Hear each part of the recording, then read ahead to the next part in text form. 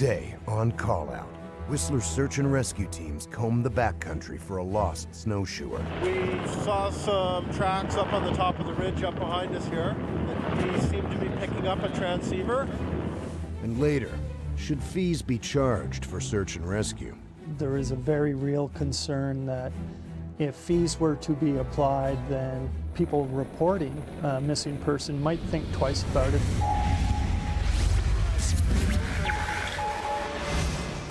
Monday, 6:45 p.m. Whistler Search and Rescue was notified that a young backcountry hiker is missing. Mark Thibault, an avid snowboarder originally from Quebec, had set off alone for his first overnight snow camping trip. When Mark did not show up for work two days later, he was reported missing. The subject was described as not being very experienced and, and uh, certainly not knowledgeable of the area. Um, he had this burning desire to complete um, a level of mountaineering. On top of the increasing avalanche danger, poor route finding weather, we presumed that this person would definitely be in need of help. Friends reported that Mark planned to start his journey from the top of Whistler Mountain, intending to travel part of the Spearhead Traverse, a popular but very challenging backcountry ski route atop the range that links Whistler and Blackcomb Mountains. The Spearhead Traverse is spectacular. A two-day trek in good weather, it is considered a rite of passage for ski tourers in the area. It's not for the inexperienced. He had been out for two days already, and by the description of the equipment that he had with him, we knew that he could quite possibly be in very serious danger. He's got uh, snowshoes, food, a sleeping bag. We weren't sure if he had a tarp or not. Definitely doesn't have a tent. With less than an hour of daylight left, the team launches a hasty search. The helicopter heads directly for Whistler Mountain, then follows the Spearhead Traverse southeast. In the fading daylight, the team spots snowshoe tracks. Those tracks led down into a very hazardous area. Open creeks, uh, rotten snow, avalanches, the whole host of, uh, of dangers. A ground search team on skis follows the tracks out to a hiker's staging area, concluding that the tracks were not made by the missing subject. Nightfall sets in. The search stops for the evening. It is now Tuesday morning. Two helicopter search teams prepare to leave. One helicopter team heads to Russet Hut, an overnight shelter on the Spearhead Traverse, where Mark may have gone. No entries. Mark is not in the cabin, nor has he signed the guest book. Not upstairs. While there are no signs of Mark at the cabin, there are recent snowshoe tracks heading out from Russet Hut directly into an avalanche area. A snowshoe is spotted on the ground. We saw some tracks up on the top of the ridge up behind us here. And there is some avalanche debris below it. We seem to be picking up a transceiver out of the helicopter. Uh, so we're just sending some members on foot to uh, go and investigate. It's quite a nasty ridge, lots of cornice on the top of it. So we've got a couple of guards out. Cornice is an overhanging mass of snow and ice formed by drifting wind and snow. The sheer weight and volume of falling cornice often triggers an avalanche on the slope below. The safety of search teams is paramount. Team leader Daryl Kincaid, a full-time professional heli-ski guide and certified level 2 avalanche technician, performs an avalanche risk assessment. He determines that the area is stable and safe to do the transceiver sweep. They traverse the area, trying to pick up a signal on their mobile avalanche transceivers. 20 minutes later, nothing. The transceiver signal was likely radio interference. The snowshoe? The SAR base reports that it doesn't match the style or color used by Mark. With both helicopters low on fuel, the teams return to base to regroup. We burned up about eight hours of helicopter flying and came up empty handed with no results whatsoever. Reports of lots of skier traffic, but above 6,000 feet, uh, tracks had pretty much been eradicated by the fresh snow and the wind action. So, very little clue as to where this uh, person had had gone. Such that we had to bring the teams back in, re-interview all of the witnesses and all of the information that we had, and then sit down and apply what's called uh, Mattson consensus the team of search experts divide the Spearhead Traverse into segments. Everybody assigns a probability of detection percentage to each segment based on their knowledge of the area and what they believe the subject might do. With all the high probability areas already covered, search leader Braden Douglas has a hunch that marks straight east towards Naden Glacier, a rarely traveled area. The hunch pays off. We had one snowboard turn mark that had gone downhill. And uh, we, then we, we then had his direction of travel. They follow Mark's tracks down along the Cheakamus River for the next three hours. On the south side of Cheakamus Lake, the tracks lead into the forest, where visibility from the air is almost zero. Low on fuel again, they turn back, calling their coordinates into the nearby RCMP helicopter that will bring a dog team in to search the area. At the heliport, they're comparing search notes when the news comes in. Four o'clock, we got to the heliport and we sound like we found Buddy already. The RCMP helicopter with the dog team spotted Mark on the edge of Cheakamus Lake. He was right on the edge of a, a thawing lake, so you got big, huge first growth trees and then a little bit of shore, so we had to do a hover entry. So the helicopter's not going to land, it's just going to come in really close and we're going to slowly crawl up into the helicopter. The team rejoices with Mark. Everyone is relieved about the happy outcome. It's not always that way. At Simmons Creek? I was... Yeah, yeah, I thought I was in Fitzsimmons. Yeah, exactly. The subject was um, extremely lucky to be alive and uh, was um, clearly very disoriented in where he thought he was. And had he maintained his direction and uh, travel regime that he was on when we found him, he probably would never have been found. The real question is what was Mark thinking when he set out alone into the mountains, inexperienced, poorly equipped, and without a plan?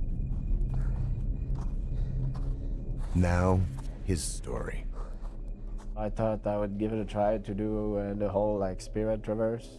I thought I could do that in two days, and uh, yeah, that day I just like got caught in like the heat of the moment, kind of like it was too nice, and I, I didn't stick to the plan.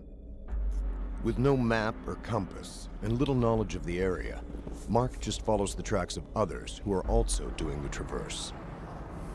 I didn't know exactly where I was going, so I was really like relying on those tracks. When I uh, went to bed at night was nice and like uh, shining stars in the sky and everything was fine, so I thought everything would be beautiful when I wake up again. I woke up with like six inches of snow on me. All my stuff were like covered in snow and my boots as well. I could still see tracks a little bit. When I like traversed to the next peak, then I couldn't see any tracks anymore. In his haste, Mark walks right off the edge of a steep bank dropping several meters. And at the end of that day, yeah, I was guessing I'm not in the right direction because I would have recognized some spots by then. And I, I was still not 100% sure, but I, I was starting to be like, okay, I don't know where I am. He's no longer using his snowboard, but he keeps it for protection. It's kind of very wild over there, and it's springtime as well, so I was kind of scared to see bears or something like that. And like I thought like the board would be pretty much the only way I could try to defend myself if I have to. By Monday night, Mark has traveled nearly 30 kilometers in very challenging conditions. I now knew I was lost and uh, like I was kind of planning to stay in the woods for quite a while because I didn't see the end of like where I was gonna walk to and that night I just stopped hiking a bit earlier and I set myself a really nice camp and kept a nice warm fire for quite a while, make myself some tea and like kind of recovering from like all the hiking I did in the days before. I had less and less energy at that time because I was eating less food. So I was hoping that like the day I should work and I'm not to work, someone's gonna realize I'm like not there and someone's gonna start to look for me. I didn't panic. I was just thinking I gotta do what I gotta do and just uh, keep warm and try to keep on going.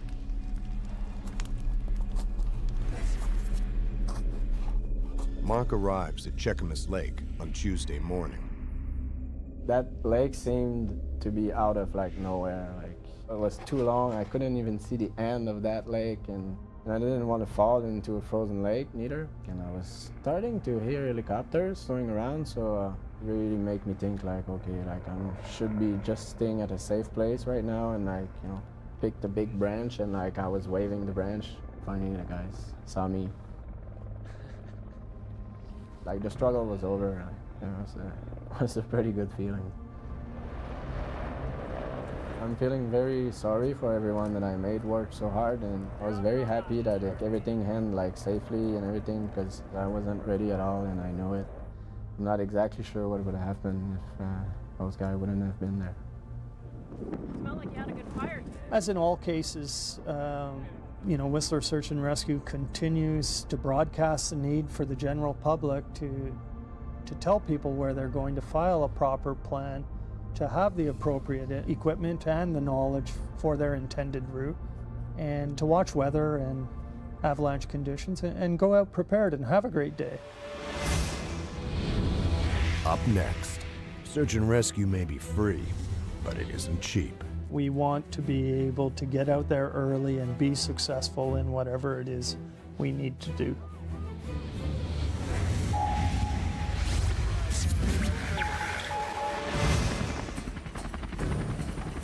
When someone goes missing in Canada's vast wilderness, teams of searchers spring into action. While they might be military, Coast Guard, or other paid professionals, many times they're volunteer ground search and rescue teams. Unpaid professionals who give their time and risk their lives to save others. We've been called out from um, Marine Rescue. Whether they're searching for a seasoned, well-equipped outdoorsman who got a bad break, or a poorly equipped novice, the rescues won't cost either subject a dime. Unless the subject is engaged in illegal activities, intoxicated, using drugs, or if it's SAR support for an industrial incident. Free rescue, in particular for people who've deliberately taken risks, is a contentious issue. But search and rescue want their services to remain free. There is a very real concern that if fees were to be applied, then people reporting a missing person might think twice about it. And certainly from a volunteer's point of view, we want to be able to get out there early and be successful in whatever it is we need to do. The rescues may be free, but they're most certainly not cheap. Many callouts occur late in the day, so a helicopter is the quickest way to find people before darkness falls. A mobile command vehicle includes a host of features, such as sophisticated radio and mapping technology to coordinate a major operation. Specially equipped rescue trucks transport crew and equipment for a variety of rescue operations. Backcountry ski teams require top-notch gear, usually bought on their own dime. A new marine rescue craft with the latest SAR gear can cost about $160,000. And mountain rope rescue climbing equipment simply must not fail, so it's replaced often. It all adds up, and the money has to come from somewhere. The federal and provincial governments pay for all direct costs of a rescue, for specialized training, and even the purchase of some big-ticket ground SAR equipment. But the funds are spread pretty thin. The difference is made up by the ground search and rescue members themselves through fundraising. Saturday, 10 a.m. Whistler Search and Rescue are unloading for a major operation. The mission? Raise $45,000 for local search and rescue. Uh, this is the benefit dinner. It's our biggest fundraiser of the year. The crew is getting ready for Wind Up, an annual fundraising dinner for Whistler Search and Rescue. Like other volunteer search and rescue teams, Whistler members contribute thousands of hours every year to saving lives. To do their jobs effectively, they need facilities, training, and equipment. Some 10 years ago, it was recognized by uh, independent uh, members of the community that the search and rescue group could really use a hand in fundraising. We were kind of uh, strapped every year for, for cash, and they took it upon themselves to come up with this concept of a really unique fine dining paired with wine and silent auctions to raise funds. Sue Stafford and Jennifer Villard are the SAR managers for this important mission. They've been carefully planning and doing the groundwork for many months. The entire event is donated by members of the community. So we have Whistler Mountain that donates this fantastic venue for it. All the chefs donate their time and suppliers, wineries, which also contribute to it. So it's a very good fundraiser for us. Even SAR members open their wallets.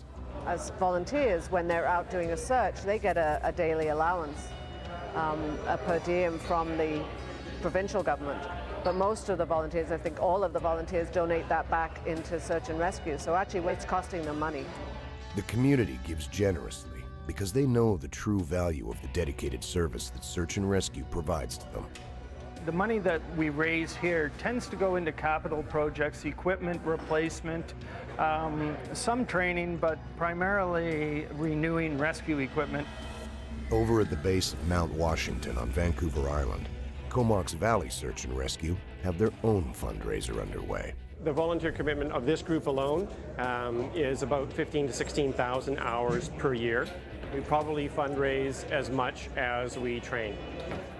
They'll earn 15% commission on everything, raising tens of thousands of dollars for Comox Valley search and rescue operations. So who's going to be in the auction room? Okay. Whistler SAR has been staging the fundraiser for three hours now. Tonight, they're showing off equipment purchased thanks to donations from the community. Swiftwater rescue equipment, a boogie board, dry suits, helmets, and then uh, the HETS equipment that uh, needs to be replaced every eight years. And at $20,000 a show, uh, it takes more than one year to uh, fundraise for it. This has all got its weight mark on it for a helicopter. Search and rescue teams use some pricey equipment and push it to its limits. Tonight we have earmarked a new rescue toboggan that we can pull behind uh, a snow machine. Ours is about 17 years old now and is uh, has a number of stress fractures and is not really usable at this point in time. The last minute touches are still underway as the guests begin to arrive. Whistler Search and Rescue is on duty, though for most, it's a different duty than they're used to. Uh, hanging underneath the helicopter, now I'm hanging jackets. Spirits are high. The guests are coming through in a big way. I'm here to support Search and Rescue in Whistler. They are a bunch of the most amazing guys you'll ever come across. And that's why this dinner is a sellout every single year, and so it should be. The event is on its way to being another huge success. It's really indicative of the community's desire to have in place this kind of response. You really feel like the people that attend this year after year actually feel that they're part of the team, and they are, in fact. They are an integral part of the team. Everybody's digging deep tonight. This is not a cheap dinner, but there's people here from all walks of life. There's the high rollers and there's the locals, and, and we're here because, uh, because search and rescue is such a great service to all of us. After the ticket sales, the auctions, and the donations are tabulated, Whistler SAR surpassed their goal of $45,000. The community has come through for search and rescue, so that search and rescue will continue to come through for them. I think it's really important that you reach into your community, that you communicate your need as a search and rescue team to have the community come on board and assist you in, in providing this because I'm sure every team in all of Canada uh, needs financial support and the best place to source that is right within your community. Call Out Search and Rescue features real stories filmed live by search and rescue teams during actual missions. Find out more at calloutsar.tv.